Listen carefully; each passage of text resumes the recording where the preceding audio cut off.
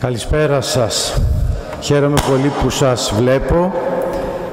Έχουμε την ευχή του Μητροπολίτη του Επισκόπου και Επιμενάρχη κυρίου Σεραφείμ για να είμαστε σήμερα εδώ μαζί σας.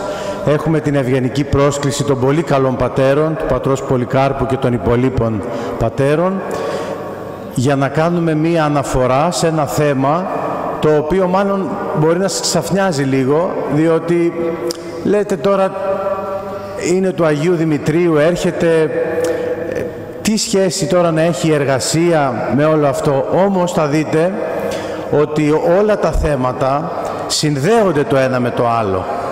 Δηλαδή όλα τα θέματα στην Ορθόδοξη πίστη μας έχουν σχέση το ένα με το άλλο. Και θα το δείτε αυτό σε, σε λίγο πιστεύω. Θέλω να σας πω ότι το θέμα είναι η Αγία Γραφή για την εργασία. Θέλω να σας πω για την Αγία Γραφή ότι είναι ένα ιερό κείμενο με το οποίο δεν ασχολούμαστε. Είναι αλήθεια αυτό. Οι χριστιανοί σήμερα δεν διαβάζουν. Και αυτό το ίδιο το βιβλίο, το ιερό βιβλίο της πίστης δεν το διαβάζουμε, το πολύ πολύ να διαβάζουμε βίους Αγίων. Όλα για τον Άγιο Παΐσιο, Πορφύριο, Ιάκωβο κτλ. Αυτά τα διαβάζουμε. Καλό είναι να διαβάζουμε αυτά. Άλλωστε αυτά είναι ένα εφαρμοσμένο Ευαγγέλιο αλλά δεν μπορούμε να αφήσουμε το Λόγο του Θεού. Δηλαδή, την Παλαιά Διαθήκη, για παράδειγμα, δεν την ξέρουμε καθόλου. Τι δεν την ξέρουμε; Μερικοί την πολεμάνε κιόλας. Μόνο δεν την ξέρουμε. Λέμε ότι είναι η ιστορία των Εβραίων και δεν έχω κανένα λόγο να την διαβάσω. Αυτή είναι η αλήθεια. Έτσι λέμε. Όχι, δεν είναι έτσι. Η Παλαιά Διαθήκη είναι ένα βιβλίο που μιλάει για τον Χριστό. Όπως και η Καινή Διαθήκη είναι ένα βιβλίο που μιλάει για τον Χριστό. Άρα έχει αξία. Όση αξία έχει η Παλαιά Διαθήκη, έχει και η Καινή και το αντίστοιχο. Οπότε πρέπει να μπούμε σε αυτή τη διαδικασία κάθε μέρα ένα μικρό τεμάχιο, ένα μικρό, μια περικοπή να τη διαβάζουμε με πρόγραμμα και για ένα λόγο ακόμα. Για το ότι η Ορθόδοξη πίστη, ξέρετε, είναι μία ατμόσφαιρα. Είναι, ναι λέει, πιστεύω την προσευχή. Πιστεύω στο να πάω στη λατρεία όπως ήρθατε τώρα να προσκυνήσω. Πιστεύω στη Θεία Κοινωνία. Αν και πολλοί έχουν φοβηθεί αυτό τον καιρό. Το διάβασμα δεν υπάρχει. Η μελέτη δεν υπάρχει. Σε πολλούς χριστιανούς λέω τώρα. Οπότε δεν είμαι στο κλίμα που χρειάζομαι. Πρέπει όλα να είναι. Δεν διαλέγω. Μ' αρέσει ας πούμε η εξομολόγηση, δεν μ' αρέσει η Θεία Κοινωνία. Μ' αρέσει να ανάβω μόνος μου το κερί στην εκκλησία, δεν θέλω τον κόσμο των άλλων. Δεν γίνεται αυτό. Θα παλεύετε τζάμπα και είναι κρίμα. Είναι όλων, όλων. Είναι ένα, είναι όπως το είπα, πατέρες, νομίζω και εσείς συμφωνείτε. Είναι μία ατμόσφαιρα στην οποία πρέπει να μπω να αναπνεύσω σωστά για να μπορέσω να βγάλω, ε, να, να πορευθώ στο δρόμο που λέγεται, στο δρόμο που έλεγε προς το Θεό, με το Θεό που λέγει η γιαγιά μας, στο δρόμο της θεοκοινωνίας που λένε οι θεολόγοι και οι πατέρες. Αγία Γραφή για την εργασία ο πρώτος εργάτης είναι ο Θεός. Ο πρώτος εργάτης, συγγνώμη που το λέω έτσι, λέω ανθρωπομορφικές κάποιες, έτσι, κάποιες ανθρώπ, ανθρώπινους όρους, αλλά είναι αλήθεια. Ο Θεός είναι ο πρώτος εργάτης. Ο οποίος τι έκανε, σε τι εργάστηκε, έφτιαξε όλο αυτό τον κόσμο. Για σκεφτείτε το, Πόσες μέρες το έκανε αυτό; Επτά. Έξι. Και την έβδομη αναπαύθηκε. Και μια που ήρθε αυτή η κουβέντα, δεν είχα σκοπό να το πω. Αλήθεια ξέρετε γιατί έγινε σε έξι μέρες; Το έχετε ακούσει αυτό, ότι σε έξι μέρες έγινε η δημιουργία. Γιατί έγινε σε έξι μέρες; Και δεν έγινε σε οχτώ. Λέω ένα παράδειγμα. Δεν ήταν εύκολη η απάντηση και εγώ την έψαγνα, αλλά τη βρήκα. Άλλοι λένε ήταν έξι μέρες γιατί οι έξι μέρες δηλώνουν έξι περιόδους. Μα τι λέτε τώρα, είχε ανάγκη ο Θεός για από περιόδους; Δηλαδή έκανε μια περίοδο αυτό και λέει άντε τώρα να κάνουμε την άλλη. Ή αν λέει για την ημέρα, έκανε ο Θεός τη μία μέρα αυτό και λέει άντε αύριο να κάνουμε και το άλλο. Είναι δυνατόν να ισχύουν αυτά για το Θεό; Δεν υπάρχουν αυτά για το Θεό. Τότε γιατί έγινε; Έγινε γιατί κάποτε οι Εβραίοι, οι Ιουδαίοι δεν τηρούσαν το Σάββατο. Ξέρετε ότι είναι η ιερή τους ημέρα. Όπως εμείς έχουμε την Κυριακή, αυτοί είχαν το Σάββατο. Δεν τηρούσαν σωστά την, ημέρα του, του Σαββάτου, δηλαδή δεν, έ, συγγνώμη, δεν μαγείρευαν, δεν καθάριζαν, δεν πήγαιναν έξω έτσι, μόνο στο ναό πήγαιναν. Λοιπόν, και τι κάνει τώρα ο συγγραφέας; Λέει, θα βάλουμε έξι μέρες και θα τονίσουμε την έβδομη. Και τους λέει, έξι μέρες εργάστηκε ο Θεός. Δεν εργάστηκε έξι μέρες ο Θεός. Και την έβδομη αναπαύτηκε. Το καταλάβατε γιατί το έκανε. Για να τους δώσει μήνυμα, σταματήστε να καταπατείτε την έβδομη ημέρα, την ημέρα του Σαββάτου. Και έχουμε έξι, άρα δεν έγινε για το έξι, έγινε για το εφτά. Το ζήτημά του ήταν να τονίσει την αργία του εφτά. Το καταλάβαμε πιστεύω, ε και το 6. Και επίσης ένα άλλο που θέλω να σας πω πάνω σε αυτό. Αν διαβάσετε τη βίβλο, αν διαβάσετε τη Γένεση, λέει ότι ο ήλιος δημιουργήθηκε την τέταρτη μέρα. Αυτό δεν στέκει. Ο ήλιος έγινε πρώτος. Χωρίς τον ήλιο, τι, τι δημιουργία να υπάρχει; Όλα ο ήλιος δεν τα ζωογονεί. Και γιατί λέει ότι έγινε την τέταρτη μέρα; Το λέει γιατί πίστευαν κάποιοι ότι ο ήλιος είναι Θεός.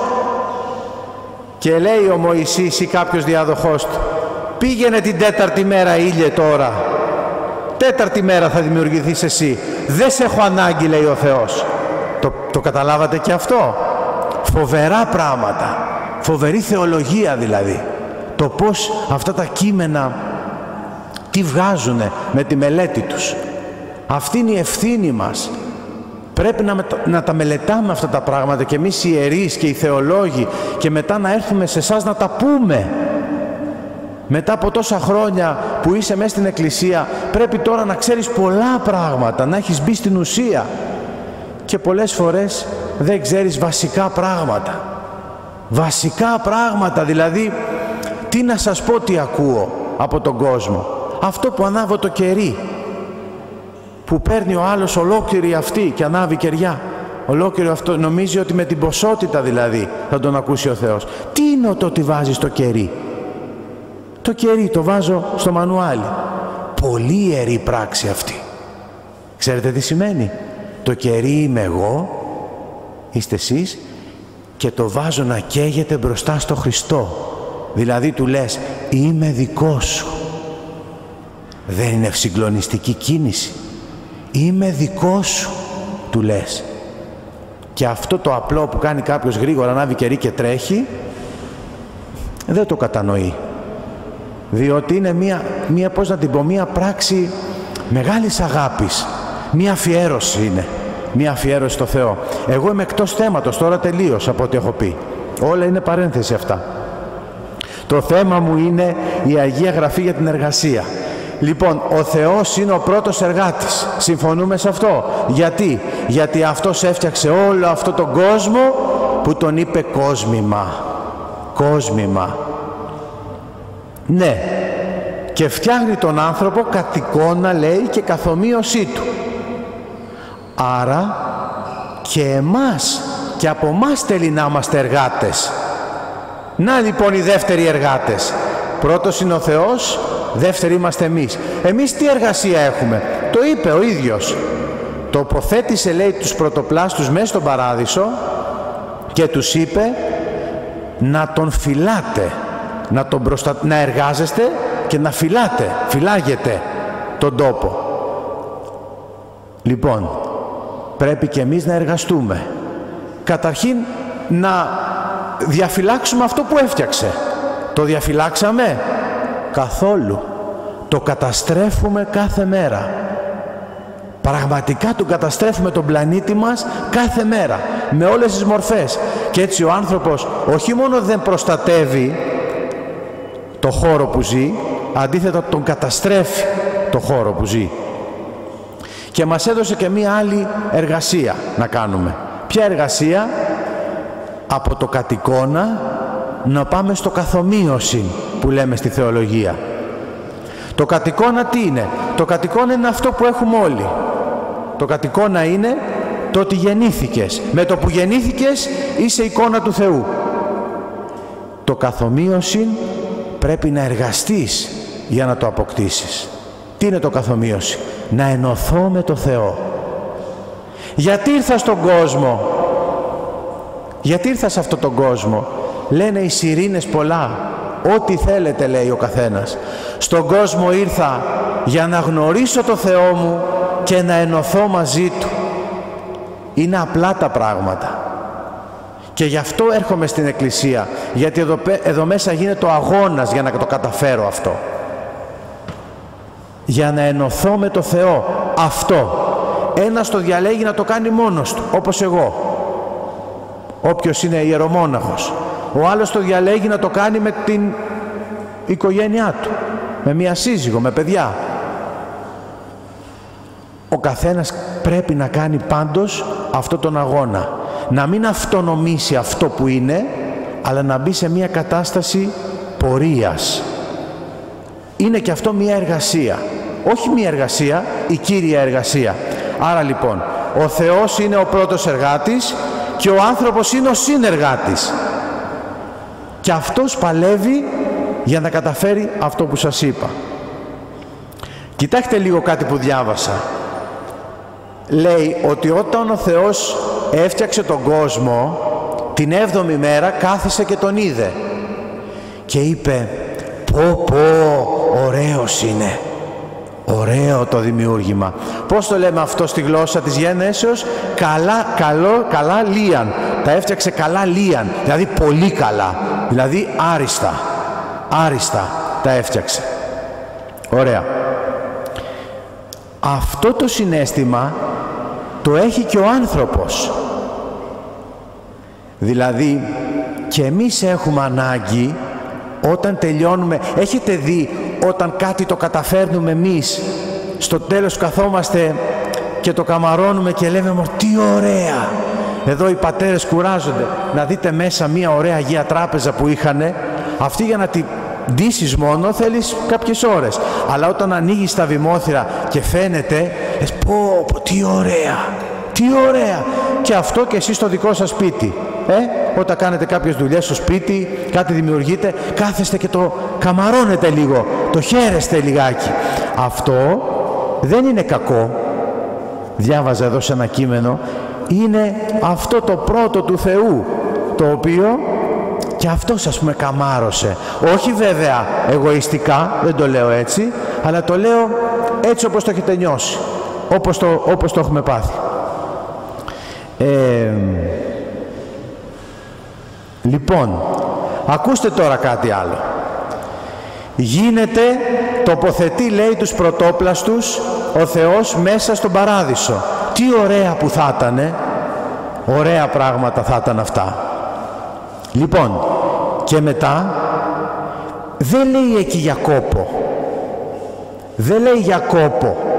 Ο κόπος πότε έρχεται; Όταν παίρνει την εντολή από το Θεό μετά την πτώση του ο άνθρωπος τι του λέει ο Θεός; Με κόπο με υδρότα θα βγάζεις το ψωμί σου ενώ δηλαδή η εργασία ήταν μια απόλαυση τώρα η εργασία έρχεται και γίνεται με κόπο. Είναι δηλαδή το παίρνει μπάλα το παίρνει μαζί της αυτή η πτώση η οποία τα σμπαράλια όλα. Τα σμπαράλια όλα.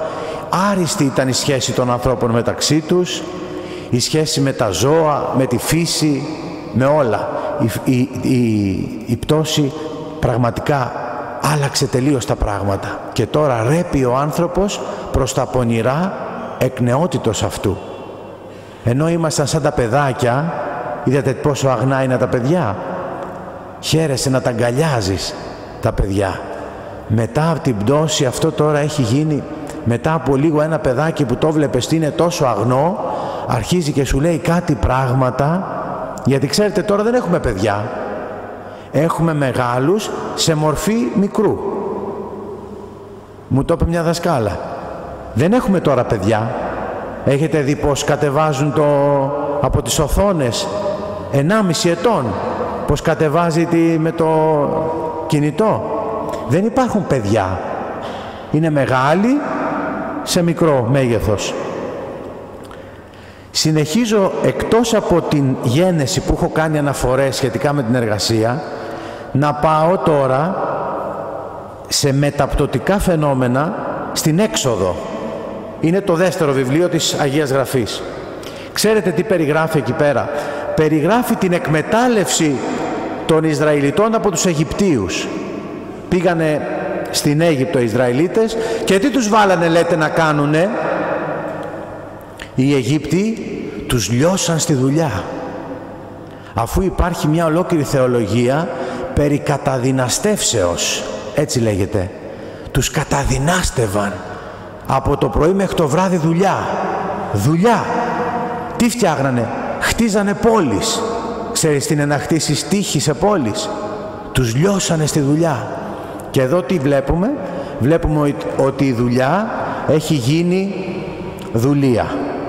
Εδώ πέρα βλέπουμε ότι η δουλειά είναι η εργασία έχει πλέον πάει σε άσχημους δρόμους. Τη χρησιμοποιούν, χρησιμοποιούν οι άνθρωποι για να εκμεταλλεύονται άλλους ανθρώπους. Και δεν ισχύει αυτό μέχρι και σήμερα. Θυμάμαι για κάποιον, έκανε κάποια εργασία και είχε έναν άνθρωπο αλλοδαπό και του έκανε δουλειά, ήταν καλοκαίρι, ήταν 40 βαθμοί, τον είχε 10 ώρες. Και του λέω, πόσα χρήματα θα του δώσεις; Και μου λέει ένα ευρώ για δέκα ώρες. Ένα ευρώ. Ξέρεις τι μου λέει τι είναι ένα ευρώ στη χώρα του; Ξέρω ότι είναι ένα ευρώ στη χώρα του αλλά εδώ είναι άλλη χώρα. Δεν μπορείς να, να λιώσεις έναν άνθρωπο έτσι. Και να θυμηθώ και ένα άλλο. Όταν ερχόντουσαν οι πρώτοι πρόσφυγες στην στη Λέσβο υπήρχαν κάποιοι συμπολίτες μας που θέλανε να τους δώσουν νερό. Είχαν μικρά εκεί μαγαζιά. Ξέρετε πόσο το έδιναν το μπουκαλάκι το μικρό; Πέντε ευρώ. Και εμείς το παίρνουμε μισό. Όταν αυτός μετά από λίγο ο πρόσφυγας θα βρει τα βήματά του, θα ρωτήσει πόσο έκανε. Και ξέρετε τι θα πει; Μόνο χριστιανός δεν θα γίνω. Δεν ξέρω τι θρησκεία είχαν αυτοί οι κύριοι, θα ρωτήσουν τι θρησκεία είχαν και θα πούνε μόνο χριστιανός δεν πρόκειται να γίνω. Αν αυτοί εκφράζουν το χριστιανισμό, εγώ χριστιανός δεν θα γίνω ποτέ. Στο δευτερονόμιο, ακούστε ένα ωραίο που λέει. Αυτό έπρεπε να το πάρουν αυτοί που κάνουν, ε, ε, πώς το λένε, που επαναστατούν έτσι για τα ανθρώπινα δικαιώματα, για τα εργατικά δικαιώματα. Ακούστε τι λέει το δευτερονόμιο, ε. Από τα πρώτα βιβλία λέω τώρα της Αγίας Γραφής. Μην εκμεταλλεύεσαι ποτέ τον μισθωτό, το δυστυχισμένο και το φτωχό συμπατριώτη σου ή τον ξένο που ζει σε μία από τις πόλεις της χώρας σου. Άκου εδώ, είναι προφητικός ο λόγος. Να του δίνεις κάθε μέρα το ημερομίσθιό του πριν από τη δύση του ηλίου. Γιατί είναι φτωχός και το έχει ανάγκη. Αλλιώς ακούστε τι λέει αυτός θα φωνάξει με αγανάκτηση εναντίον σου στον Κύριο. Και αυτό θα σου καταλογιστεί σαν αμαρτία. Ήρθε κάποτε στον Άγιο Κοσμά τον Ετωλό στα χρόνια της τουρκοκρατίας κάποιος Ρώσος με ένα πουγγί γεμάτο χρυσά νομίσματα και του λέει έλα Άγιε του Θεού, πάρε να χτίσει σχολεία. Ήθελε να χτίσει σχολεία ο Άγιος. Πάρε να χτίσει ένα σχολείο και του λέει πάρ τα πίσω. Γιατί, γιατί είναι βαμμένα με αίμα. Πού το είδε; Είδε με το μάτι του, το καθαρό, είναι γεμάτο, είναι ο υδρότας αυτών που εργάζονταν για σένα και τους έχεις πιει από το αίμα του λέει και δεν τα θέλω αυτά τα λεφτά. Γιατί εμείς παίρνουμε όποιος και να μας δώσει ό,τι και να μας δώσει. Έχει σημασία αυτό. Τι χρήματα είναι αυτά. Δεν τα θέλω του λέει και τα έχει ανάγκη τα χρήματα. Λοιπόν διαβάζω στη Σοφία Σιράκ σχετικό. Όποιος από το διπλανό του τη διατροφή του αφαιρεί είναι το ίδιο σαν να το σκοτώνει. Και όποιος δεν δίνει στον εργάτη το μισθό είναι φωνιάς. Καταλαβαίνετε ότι αυτά τα λέει η Αγία Γραφή. Όταν και εγώ τα διάβαζα δεν είχα ασχοληθεί με αυτό το θέμα. Όταν τα διάβαζα λέω αν είναι δυνατόν. Είναι πολύ αυστηρό αυτό που λέει και ο Άγιος Εφρέμος Σύρος, επειδή το είδα μαζί, σας το λέω και αυτό, αλίμονος εκείνους που στερούν από τους εργάτες το δίκαιο μισθό, γιατί είναι όμοιοι με αυτούς που χύνουν αίμα. Το γράφει ο Άγιος Εφρέμ στο λόγο του περί της Δευτέρας Παρουσίας. Να πω κι άλλο ένα για την Παλαιά Διαθήκη και να πάω στην Καινή. Πέστε ναι. Θα, ε, ούτως ή άλλως θα το κάνω, αλλά απλά σας ρωτάω ρητορικά. Λέει λοιπόν, στις παροιμίες, τις ξέρετε τις παροιμίες, ε; Παροιμίες Σολομώντος. Ο Σολομών ήταν ένας βασιλιάς, αλλά είχε χάρισμα. Και στο λόγο και στη γραφίδα. Ακούστε τι λέει ο, ο, οι παροιμίες. Ε, μας παραπέμπει στο μυρμήγκι. Θυμάστε τι κάνει το μυρμήγκι, ε; Το βλέπουμε εκεί πέρα και κάνει το καλοκαίρι ε, μια τρεχάλα και λέει τι κάνει τώρα αυτό; Δεν χαίρεται λίγο την ημέρα. Αυτό προνοεί. Ακούστε τι λέει η Αγία Γραφή γι' αυτό. Τράβατε μπέλι στο μυρμήγκι, κοίταξε πώς δουλεύει και γίνε σοφός. Αυτό το μυρμήγκι δεν έχει ούτε αρχηγό, ούτε επιστάτη, ούτε αφεντικό. Κι όμως το καλοκαίρι εξασφαλίζει την τροφή του, προμήθειες συγκεντρώνει τον καιρό του θερισμού. Τεμπέλη, λέει στον άνθρωπο, ως πότε θα κοιμάσαι, πότε από τον ύπνο σου θα σηκωθείς; Λίγος ακόμα ύπνος, λίγη νύστα, λίγο τα χέρια να σταυρώσεις για να αναπαυθείς; Και θα έρθει η φτώχεια ξαφνικά σαν το και η δυστυχία σαν άντρας οπλισμένος. Δεν κάνω σχόλια, το καταλαβαίνετε. Πάω στην Καινή Διαθήκη. Γιατί η βίβλος είναι και Παλαιά και Καινή Διαθήκη. Θα μπορούσα να σας πω πολλά περισσότερα, αλλά δεν θα με αντέξετε. Στην Καινή Διαθήκη δεν είναι λίγες οι φορές που γίνεται αναφορά στην εργασία. Λέει ο Χριστός στο κατά Ευαγγέλιο «Έτσι θα λάμψει και το δικό σας φως μπροστά στους ανθρώπους για να δουν τα καλά σας έργα και να δοξολογήσουν τον ουράνιο Πατέρα. Η εργασία εδώ έχει να κάνει με καλά έργα. Με τη βίωση δηλαδή των εντολών του Θεού. Και η βίωση των εντολών του Θεού παράγει φως. Ένας που ζει τις εντολές και δεν τις κάνει επειδή πρέπει, αλλά επειδή θέλει, τότε αυτός φωτίζεται ο άνθρωπος. Έχω δει τέτοιο φωτισμένο. Είδα, πήγα σε ένα μοναστήρι και είδα μία μοναχή η οποία έλαμπε. Έλαμπε. Και λέω, μα δεν πέφτει ο ήλιος απάνω της. Ούτε κανένα κτιστό φως. Τι είναι αυτό που έχει; Και ρώτησα τις άλλες, τις μοναχές. Λέω, αυτή Βλέπετε κάτι, βλέπω, βλέπω κάτι, το βλέπετε κι εσείς. Ναι, λέει, είναι ασκήτρια αυτή. Δεν ζει στο μοναστήρι, ζει έξω από το μοναστήρι σε μια σπηλιά. Τώρα λέω, στην εποχή μας τα λέω αυτά. Δεν λέω για το προηγούμενο αιώνα. Και είχε ένα φως που το μόνο που έκανα είναι να πάω κοντά της και να της πω «Μπορείτε να προσεύχεστε για μένα παρακαλώ». Εγώ ήμουν αρχιμανδρίτης και αυτή ήταν μια μοναχούλα. Αλλά εγώ αισθάνθηκα να πάω σε εκείνη για να πάρω φως. Και το έπαθα άλλη μια φορά σε ένα μοναστήρι ανδρό. Δεν είχα λειτουργήσει, Κυριακή ήταν, και κάθισα δίπλα σε ένα στασίδι. Και είχε έρθει ένα γεροντάκι δίπλα μου. Ε, μοναχός. Γεροντάκι όμως με μαγκουρίτσα. Και την ώρα που γίνατε αδελφή μου λειτουργία, μου ερχόταν μια ευωδία. Συνήθως οι γέροντες, ξέρετε τώρα, ε, όταν είναι γέροντος ο άλλος, δεν βγάζει και ε, την καλύτερη ευωδία. Έβγαζε κύματα αυτός. Κύμα. Τελειώνει η λειτουργία αφού μου, μου, έκλεισε η αναπνοή. Και πάω στο γέροντα εκεί, του λέω, γέροντα, ένας, ένα γεροντάκι λέω ήτανε, είχε έρθει. Ε, δεν το ξέρεις μου λέει.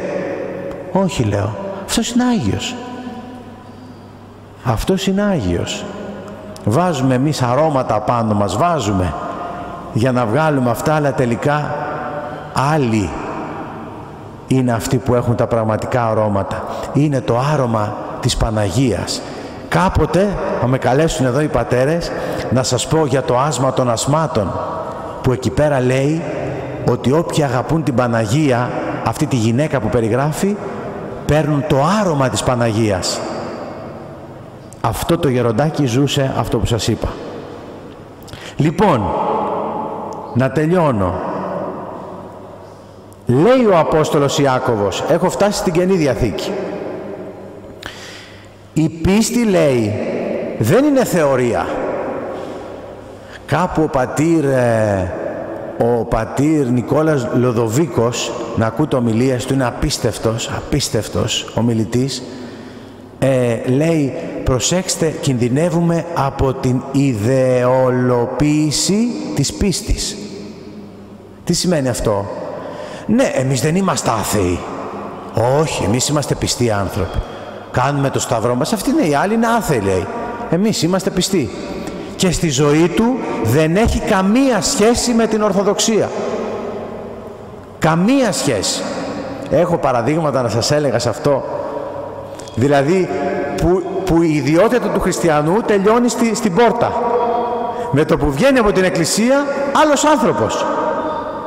Αγριεύει και μπαίνει στη ζούγκλα με τα ζώα για να δει ποιον θα καταφάει τώρα για να μην τον φάνε. Αυτό είναι το έξω από την Εκκλησία. Όμως ο χριστιανός είναι αυτός που είναι έξω από την Εκκλησία. Όχι η μεγάλη σταυρή εντός Εκκλησίας. Λέει λοιπόν ο Απόστολος Ιάκωβος ότι η πίστη χωρίς τα έργα είναι νεκρή. Αγαπητέ μου, πρέπει να το δείχνεις όχι για να το δουν οι άλλοι, αλλά σαν δικό σου βίωμα. Δεν μπορείς να βλέπεις τον άλλο να υποφέρει και να στρέψεις το κεφάλι.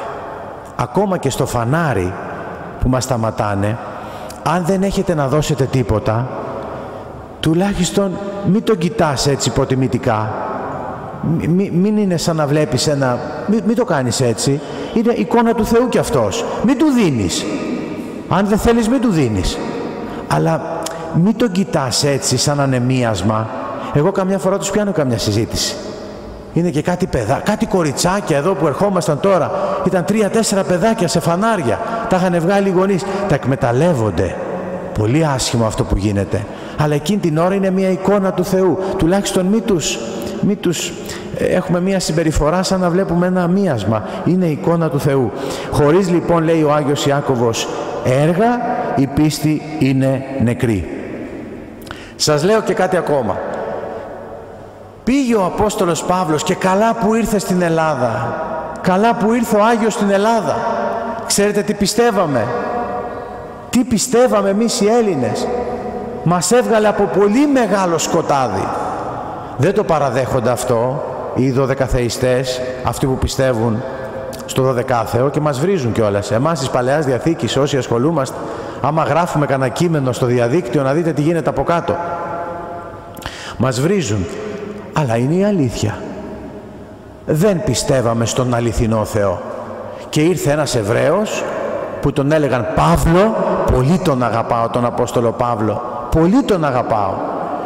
Και γύρισε από τα Ιεροσόλυμα, Μικρά Ασία, Μακεδονία, Ελληνική, έρχεται Αθήνα, Κόρινθο, Ρώμη και μιλάει για τον Χριστό. Και εκεί στη Θεσσαλονίκη μίλησε πολύ ζεστά για τον Χριστό, τους άναψε φωτιά. Αλλά μετά αφού έφυγε έπιασε η γκρίνια και λέγανε ο Παύλος δεν είναι από τους 12 μην τον ακούτε. Είναι από τους 12 Αποστόλους ο Παύλος. Δεν είναι, μην τον ακούτε. Και γινόταν μεγάλη συκοφαντία στο όνομά του και σε όσα είπε. Δηλαδή δεν είναι μόνο ότι αρνήθηκαν τον Παύλο αρνήθηκαν και αυτόν που εκπροσωπούσε ο Παύλος. Δηλαδή ο Χριστός. Ε, πώς να τους ειδοποιήσει αφού είχε φύγει πλέον. Πώς να τους ειδοποιήσει τώρα και να τους πει ότι αλήθεια είναι αυτά που σας έλεγα. Τους μίλησε με πολύ ζεστασιά. Αφού τους έλεγε ο Χριστός είναι εγγύς δηλαδή έρχεται. Μα τι, τι έρχεται αφού τώρα είχε γίνει η Ανάστασή Του. Αλλά τους έβαλε σε μια διαδικασία εγρήγορσης. Έρχεται, έρχεται ο Χριστός τους έλεγε. Έτοιμοι, έτοιμοι, έτοιμοι και αυτοί τι είπαν. Α, έρχεται. Δεν δουλεύουμε. Καθίστε στα σπίτια όλοι. Αφού έρχεται ο Χριστός γιατί να παιδευόμαστε; Ταλαιπωρία τώρα 8 ώρα. Καθίστε όλοι στα σπίτια. Το ακούει ο Απόστολος Παύλος. Λέει, τι, δεν είπα αυτό. Δεν είπα αυτό. Εγώ είπα να έχουν εγρήγορση. Και γράφει τη δεύτερη προς Θεσσαλονικής επιστολή που τι τους λέει; Ο μη εστιόμενος, ο μη εργαζόμενος, μη δε εστιέτο. Όποιος δεν δουλεύει να μην τρώει. Ωραία, δεν το είπε. Και ξεκαθάρισε το, το, ε, το θέμα. Έχει κι άλλα του Αγίου Ιακώβου, τα περνάω. Πάω στο τέλος και σας λέω μία γενική ιδέα για την εργασία.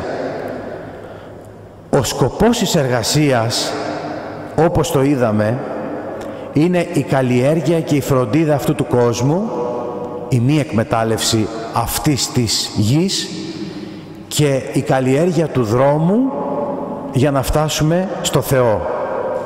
Και είπαμε ότι σε αυτό το έργο μας έχει βάλει ο ίδιος ο Θεός. Είπαμε ότι είναι ο ίδιος πρώτος εργάτης και εμείς είμαστε πάλι εργάτες για την ίδια τη δημιουργία αλλά και για την θεοκοινωνία. Σας λέω δύο-τρία σημεία και τελειώνω. Η εργασία δεν είναι αδελφοί μου μόνο για μας. Έλεγε, ήρθε μια κυρία στη Μητρόπολη και λέει μπορείτε λέει να βάλετε την κόρη μου κάπου να δουλέψει. Δεν έχουμε θέση. Όχι, δεν καταλάβατε, δεν θα την πληρώνετε. Εγώ θα σας την πληρώνω. Λέω, τι εννοείτε. Εγώ θα σας δίνω κρυφά τα λεφτά και θα τις τα δίνετε γιατί το παιδί έχει δυο πτυχία, δεν έχει βρει δουλειά και έχει πέσει σε κατάθλιψη. Η εργασία είναι μεγάλο πράγμα. Να έχεις πρόγραμμα σηκώνομαι το πρωί. Δεν με ενδιαφέρει τόσο λέει τα λεφτά. Δεν θέλω χρήματα. Να βγάλει τίποτα. Θέλω να βγει από το σπίτι και θέλω να είναι ενεργή. Να χαίρεται. Να εργαστεί. Και πάνω σε αυτό βρήκα έτσι πολύ ωραία σημεία. Ένα, ένα θα πω. Ένα και τελειώνω. Δηλαδή θέλω να πω ότι η εργασία είναι και ζωή και είναι και δημιουργία. Μην τα πιέζετε τα παιδιά σας να περάσουν στις Πανελλήνιες σε, σε σχολές που εσείς νομίζετε ότι θα βγάλουν λεφτά. Πάνε μέχρι το τρίτο έτος και τα παρατάνε μετά. Αν δεν αγαπάς αυτό που κάνεις δεν προχωράει. Ό,τι και να είναι αυτό. Αν αγαπάς αυτό που κάνεις είσαι χαρούμενος, είσαι ευτυχισμένος. Αν δεν το αγαπάς είναι μια κόλαση. Έχω δει ανθρώπους τέτοιους. Πω, πω, μου λέει, ποιος πάει τώρα, μου λέει.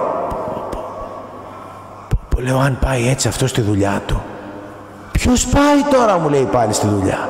Κόλαση δηλαδή. Αυτό ζει μια κόλαση από αυτή τη ζωή. Έτσι. Να τα αφήνετε να διαλέξουν αυτό που θέλουν. Ό,τι θέλουν. Αν δεν το πετύχουν την πρώτη χρονιά θα το πετύχουν τη δεύτερη.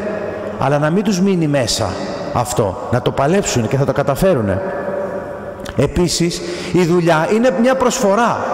Δεν κάνω μόνο πράγματα για μένα. Και αν δεν κάνεις, λέει, δουλειά που σου αρέσει, να βρεις μια δεύτερη δουλειά που να είναι προσφορά. Εμένα μου το λένε κάποιοι άνθρωποι αυτό. Πάτερ μου λέει, έχεις τίποτα να κάνω; Έχεις τίποτα να κάνω; Λέω ναι. Θα αναλάβεις αυτή την οικογένεια. Θα, στα παιδιά θα κάνεις φροντιστήριο, μορφωμένος είσαι, που δεν μπορούν να κάνουν, έτσι. Και χαίρεται με αυτόν τον τρόπο. Μόνο όταν δίνεις είσαι χαρούμενος. Όταν δίνεις είσαι χαρούμενος. Όταν παίρνεις δεν θα σου φτάνει ποτέ. Θα λες κι άλλο κι άλλο κι άλλο και στο τέλος θα είσαι νηστικός και πάλι. Όταν προσφέρεσαι, χαίρεσαι. Τελειώνω με αυτό. Σας διαβάζω ένα, ένα, μια περικοπή από τον Άγιο Ιωάννη, το Χρυσόστομο. Τώρα δεν ακούτε εμένα, πρέπει να ακούσετε τον Άγιο Ιωάννη, που τον είπα Χρυσόστομο γιατί ήταν Χρυσόστομος. Τι λέει λοιπόν για την αξία της εργασίας και την αποφυγή της αργίας. Αργία ποια είναι, είναι και πνευματικός όρος. Αργία είναι δεν έχω όρεξη για τίποτα. Δεν μας πιάνει μερικές φορές. Το απόδειπνο λες και είμαστε, λες και είμαστε μαγνητόφωνο. Πατάς το κουμπί και αρχίζεις και λέει. Και δεν νιώθεις τίποτα.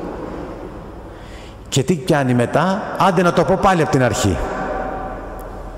Να το πω πάλι από την αρχή. Ούτε τη δεύτερη το, κατά, το νιώθεις. Και στο τέλος σου φέρνει ένα θρησκευτικό στρες. Έτσι λέγεται. Ένα, ένα πράγμα σε μια, μια ταραχή, τα παρατάς όλα και τελειώνει. Κέρδισε ο αντίδικος. Λοιπόν, ακούστε τον Άγιο Ιωάννη τον Χρυσόστομο. Ας μην τρεπόμαστε για τις χειρονακτικές εργασίες. Γιατί το έχουμε και αυτό, ε. Να είναι το παιδί στο γραφείο. Μην μας πούνε ότι είναι τίποτα εργάτης και τίποτα αγρότης. Ούτε να νομίζουμε ότι η εργασία είναι αιτία για κατηγορία. Αιτία για κατηγορία είναι η αργία. Δεν υπάρχει τίποτα απολύτως που δεν καταστρέφεται με την αργία. Ακούστε παραδείγματα, είναι φοβερός. Πράγματι, και το νερό που είναι στάσιμο βρωμάει. Ενώ εκείνο που τρέχει και τριγυρίζει παντού διατηρεί την καλή του ποιότητα. Και το σίδερο όταν δεν χρησιμοποιείται γίνεται μαλακότερο και άχρηστο επειδή το καταστρέφει η σκουριά. Ενώ εκείνο που χρησιμοποιείται στις εργασίες είναι πολύ χρησιμότερο και πιο ευπαρουσίαστο αφού μοιάζει με το ασίμι, το σίδερο. Και τη γη που δεν καλλιεργείται θα μπορούσε να την ειδεί κανείς να μην παράγει τίποτα ωφέλιμο. Αλλά βλαβερά βότανα, αγκάθια, τριβόλια, άκαρπα δέντρα. Ενώ εκείνη που απολαμβάνει την εργασία του εργάτη να είναι γεμάτη με ήμερους καρπούς και γενικά η αργία καταστρέφει το κάθε τι. Αντίθετα η εργασία κάνει τα πάντα πιο χρήσιμα Γνωρίζοντας λοιπόν όλα αυτά, καθώς επίσης και πώς είναι η βλάβη από την αργία και το κέρδος από την εργασία, ας αποφεύγουμε την πρώτη και ας επιδιώκουμε την δεύτερη. Αγαπητοί μου, σας ευχαριστώ που κάνετε την υπομονή να με ακούσετε και εν κατακλείδη να πω ότι η εργασία είναι για μας τους κληρικούς ιδιαίτερα αλλά και για όλους πολύ επιτυχημένη όταν γίνεται προς δόξαν Θεού. Γιατί και εμείς κινδυνεύουμε, πατέρα Πολύκαρπε, πατέρες, νομίζω, και μέσα από τη διακονία μας να δουλεύουμε για τον εαυτό μας παρά για τη δόξα του Θεού. Είναι ο μεγάλος κίνδυνος στο πνευματικό εργάτη αυτό. Βλέπεις πραγματικά έναν ιερέα να τρέχει από το πρωί μέχρι το βράδυ. Κόσμο, εξομολόγηση κτλ. Και να μην δουλεύει σωστά. Δηλαδή να δουλεύει κάπως για τον εαυτό του και να μην δουλεύει για τη δόξα, των ανθρω... για τη δόξα του Θεού και την διακονία των ανθρώπων. Να πω ένα τελευταίο. Τελειώνει λέει ένα βράδυ ο ιερέας την ημέρα του. Και να σας πω κάτι. Κουράζεται ο ιερέας. Δεν ξέρω τι γνώμη έχετε εσείς και δεν είναι για όλους, αλλά οι πατέρες και ειδικά εδώ αυτοί οι πατέρες του ναού που τους ξέρω καλά εργάζονται πάρα πολύ για σας. Πάρα πολύ εργάζονται, κουράζονται. Ένας τέτοιος λοιπόν εργάτης εδώ βγαίνω από εσά τώρα γιατί δεν θα σας συμφέρει το παράδειγμα ένας τέτοιος εργάτης το βράδυ βλέπει στον ύπνο του μία ζυγαριά και του λέει ο Θεός θα σου δείξω του λέει το τι έκανε σήμερα είχε λοιπόν από τη μία ζυγαριά ένα, μια ποσότητα από χρυσάφι και το άλλο ήταν κενό ξέρετε πως είναι το παλάτζο αυτό και από το χρυσάφι βγάζει ένα κομμάτι και του λέει αυτός το βγάζω γιατί το κήρυγμα το έκανες από εγωισμό. Έφυγε το ένα κομμάτι. Το άλλο του βγάζε, του βγάζε, του βγάζε, του βγάζε και έμεινε ένα τόσο δα. Αυτό έκανες για μένα, του λέει. Όλα τα άλλα τα έκανες για σένα. Ο Θεός να μην δώσει.